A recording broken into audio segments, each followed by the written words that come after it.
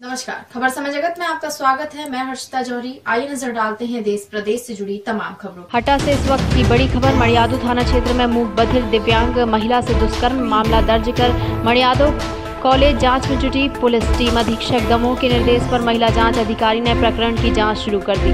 खबर समय जगत के लिए हटा से भूपेंद्र श्रीवास्तव की report. For latest news subscribe to our channel channel and press the bell.